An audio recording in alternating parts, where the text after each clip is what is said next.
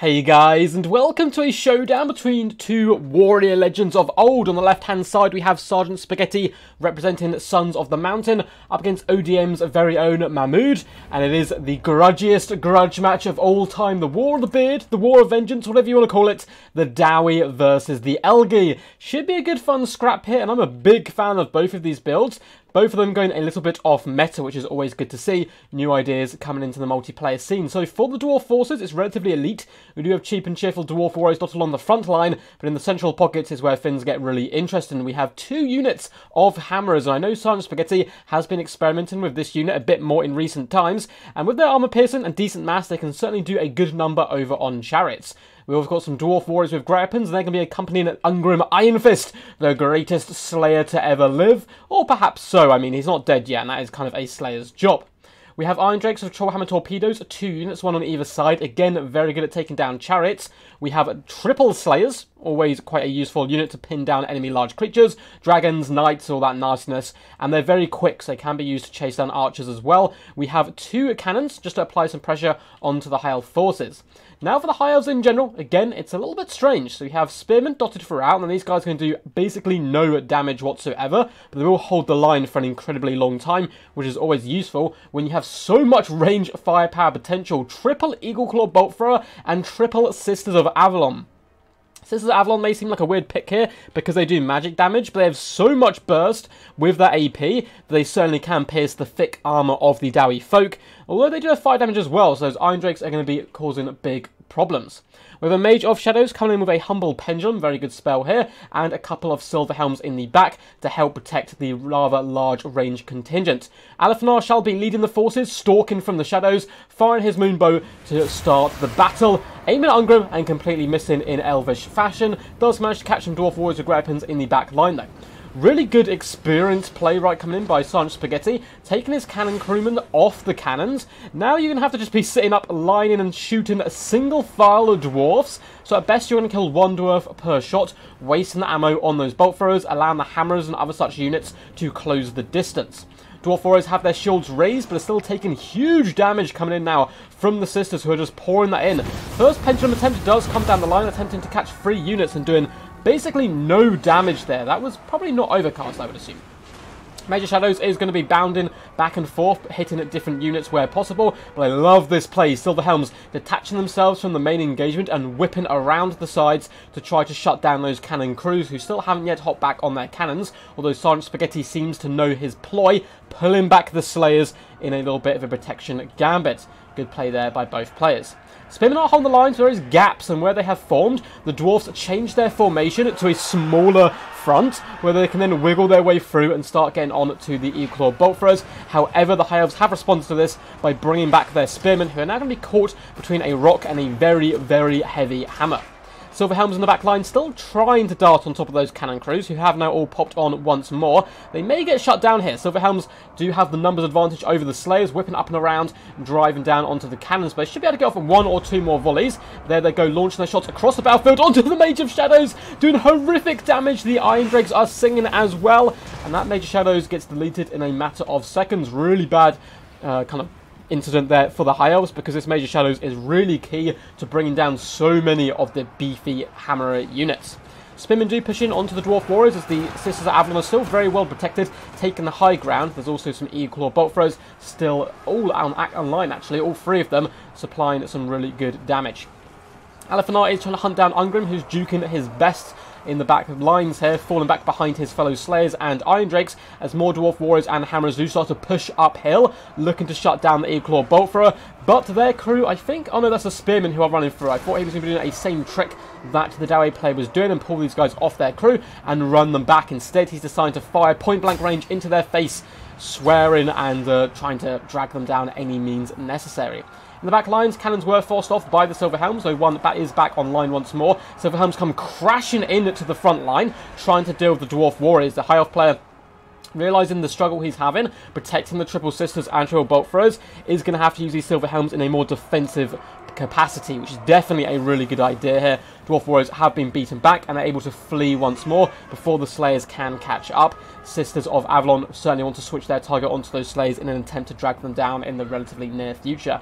Mage of Shadows does bounce back onto these Dwarf Warriors who manage to get into the back line and for their reward they're going to be getting run over by Elvish Steeds and Claws. Not going too well there for the Dwarf Warriors, though some cannon shots are coming in once more. That Mage of Shadows needs to be really careful. Despite the huge pressure applied to these cannons, they're still getting relatively decent value by taking out the magic contingent of the High Elf forces. Silverhelms do dart back to protect the Eagle Bolt Thrower, who is standing its ground, continuing to shoot on a little bit longer. Mage of Shadows getting very low here, is going to, oh, just about juke a cannon shot with a well-timed halt and a big pendulum coming down a tiny bit. A little too late though. Hammers take some damage, but nothing too scary whatsoever. Ungrim is getting very, very low. Eclaw Boltthrower is able to shoot in. There's a very brave shield wall of spears holding back the Dwarf Warriors. Eclaw Boltthrower, though, is looking to uh, reposition slightly. Alith Anar continues to fire in. Poor Ungrim down to just 700 health. One of the cannon crewmen getting a little bit eager here, are going to be charging into hand-to-hand -hand combat before getting restrained back once more. Perhaps Sergeant Spaghetti didn't realise they were off their artillery piece. Ungrim, oh, 470 health, not looking too good for him. Alith Anar has uh, plenty of ammunition left as well. Hammers getting shot in the rear. Trollhammer torpedoes do start to move up to start applying a little bit more pressure here till the spear formation, which is starting to fall. Ungrim is uh, not looking too happy. Let's have a look how he's doing. Zero kills. Oof, that is not a good death for a Slayer. Zero value. He's desperately trying to juke. You can see him wiggling around. And the little attack orders given. Nice little wiggle to try to keep him alive. But 234 health. I think one more shot from Alith Anar and he could well be going down. Bolt throws starting to fire shots in as well, although they are missing. So Ungrim shall survive a little while longer as once again he tries to juke and twirl where possible. But down he goes, hit by Alith Anar's accuracy. And Ungrim with zero value. The most disgraceful way for a Slayer to die. Oh, this is going to go into the Book of Grudges. But there's a long page already dedicated to the High Elves. Slayers are pushing through, and I certainly don't think it's over for the Dwarf forces despite the loss of their lord. Balance power doesn't favour them, but a lot of that is going to be coming to the fact they've lost their lord, and the Sisters of Avelorn are all still full health, but starting to run a little low on ammunition. Good targeting priority from the Dwarfs, looking to hunt down the Sisters of Avelorn, who have the most ammunition. Always good to try to focus down your opponent where it's going to hurt you the most. Let's have a little look at the cannons. One of them is... Are they back online? I think they're able to fire one cannon with the few crewmen they have left. The other one is firing all three artillery pieces. And there's no longer any more pressure coming in from the High Elves. The Silver Helms are desperately charging in get time after time after time into these Iron Drakes, trying to force them off. But the Slayers, ever watchful, are pulling them down from their steeds, dragging them through the muck and the mud. Slayers, both units are hunting down the Sisters at Avelorn. Looks like their fellow sisters are trying to crossfire in an attempt to save them. These sisters probably want to turn and engage, I would think, for the most part. They're relatively decent melee combatants. They're only going to be taking a little bit of friendly fire and the uh, axes in the back from the Slayers if they continue to run here. More Slayers starting to push up the hill, looking to shut down the Eagle Bolt as well as the Double Sisters, who are out of ammunition. This one completely gone. The other one down to two volleys, not looking too good there. Dwarf Warriors also piling through onto the bolt throws. Looks like they are fighting the crew now. Alith Anar's still alive. Balance power still... Oh, it's gotten slightly back more to the Dwarf favour, which I would agree with at this point. Both the cannons are going to be completely uninterrupted at this point. Can shoot in, do some good damage to the sisters. And who needs a Dawi Lord when you have the might of the Iron Drakes on your side? Both units still with a ton of ammunition. And the Hammerers moving through the centre of the Elvish formation, looking to crush the spirits of the elves. And Alith Anar is here. He's certainly not going to be having a good time up against these hammers and slayers. He does come with some barrel rolls though, knocking a few of those dwarfs on the, to their backside and uh, decapitating some of them as well. You can see these poor slayer heads dotted around the battlefield. Hammers getting a bit of a clobbering, but the hammers and slayers are mighty. Balance power ebbs and flows more and more into favour of the dwarvish folk as the Hammerers start to get to work on Alpha Eclod Botfra is getting shut down from range now by the cannons. A few Silver Helms, just 10, do decide to rally back to Alpha in a desperate attempt to save him. Sister Avelorn, though, getting destroyed by the Iron Drakes. Both units, one on either side, putting up some nice firing positions, looking to destroy the sisters. The second unit of Iron Drakes shall be covering the first, and yeah, you can charge in with your cavalry, do some nice shock damage. There's still 8 models here, though, and 125 armor is certainly no joke. The Slayers do finally catch the sisters and manage to put them in their place, killing them, dragging them down and moving them off the battlefield where they are unfortunately going to be getting slain here, proving that dwarfs better than elves. You heard it here first on the channel, though I do actually secretly love the Wood Elves as well in particular, and High Elves are a very fun faction to play, particularly Alith Anar. Big fan of this pick. I think he's uh, thematically my favourite elf by quite a considerable margin. As he finds some of his last shots into the Iron Drakes, doing some good damage. The Sisters of Avelorn trying to cling on. These warrior women beating the crap out of some dwarfs. But in return, the dwarfs are having absolute vengeance themselves, dragging them through. Cannons continue to fire into the block of Sisters here, doing some nice damage.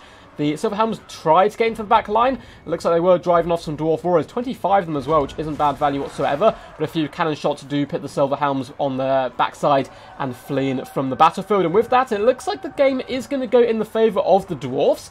I don't think there's any way. There's just too many Dwarf Warriors around, and the Hammers have taken a little bit of a beating. I'm surprised how well Alith Anar has done in combat here. 90 kills, 1,800 damage value. He's certainly not done too shabby whatsoever. The Sisters of Avelorn proven they are pretty solid melee combatants, coming in with that 37 and 39 melee attack and melee defense, respectively. More Slayers are coming in, though, to surround them and start to drag them down. Iron also sets in, and another grudge is written off the book. But likewise, as the cycle of the Book of Grudges goes, another one is added by Ungrim being slain. Hope you guys enjoyed that one. It was some pretty insane stuff. A very Pyrrhic victory. Well played to uh, Mahmood here. Despite the loss, really interesting build. Not going with your typical chariot spam of um, line, line chariots, uh, like the units, the nobles on chariots, all that kind of crazy stuff. Mixing up a little bit and trying something else. And I'm excited to see the damage value on those sisters at Avon. Likewise, Sergeant Spaghetti bringing the hammerers and they certainly prove their worth because it's a problem of threat overload.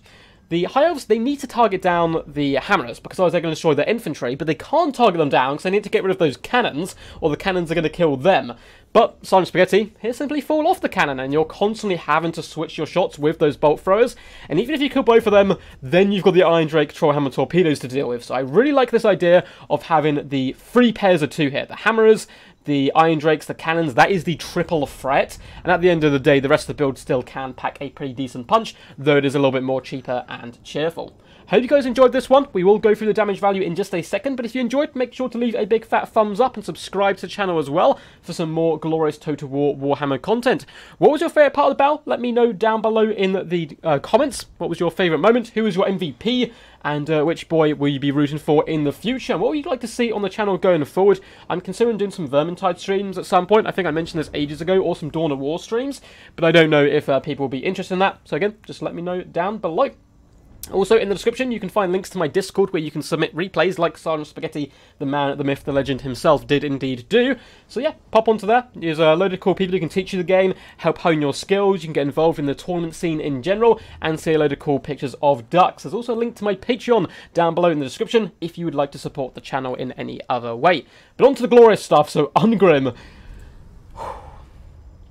I, I, I have no words. Zero kills, zero damage dealt, zero damage value probably the worst way for a Slayer to go, and arguably the second most Slayer, uh, famous Slayer of all time, to go out like this is very sad, particularly up against their hated enemy, the High Elves.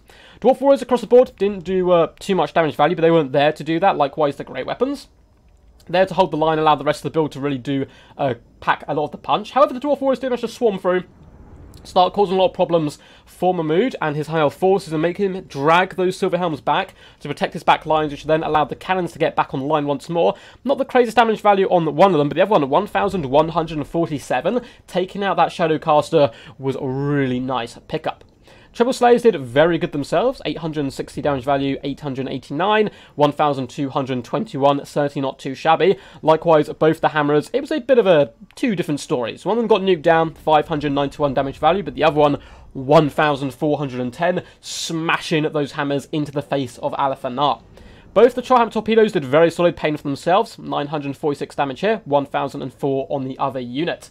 As for Mahmood, big fan of his build as well. The Eagle Bolt Throws did relatively okay. 885 damage value here. The others faring slightly worse, but that was generally due to the good micromanagement of Sergeant Spaghetti taking his men off their war machines forming that real thin line to ensure the bolt throwers couldn't punish the dwarves too much. Silver Helms did some really nice work. 500 damage value on one, 1,348 on the other, and a lot of that was just due to the backline harass they could do, recharging the enemies, breaking dwarf units off the field, and running them down.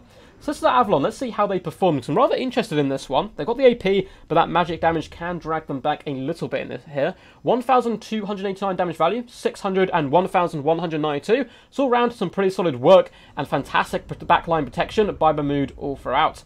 The Spearmen were simply there to form shield walls and hold the enemy back, which they certainly did for a long time. Poor Mage of Shadows with some really unlucky pendulums. I like the idea of the first one. I think it is almost better, though, going along the ranks of a single unit to really try and nuke it down rather than trying to catch too many of them, and a slightly mistimed one on those Hammerers pushing her back, but the cannons really did punish her. As for Alith Anar, 1,861 damage value, very nice stuff from him, assassinating a character as highly sought after as Ungrim, and it looks like he managed to survive the battle as well with a little bit of health left at the end, so I'm sure he will be licking his wounds and plotting vengeance on the dwarfs. Anyway guys, hope you enjoyed this one. Until next time, peace, peace. And as always, stay awesome.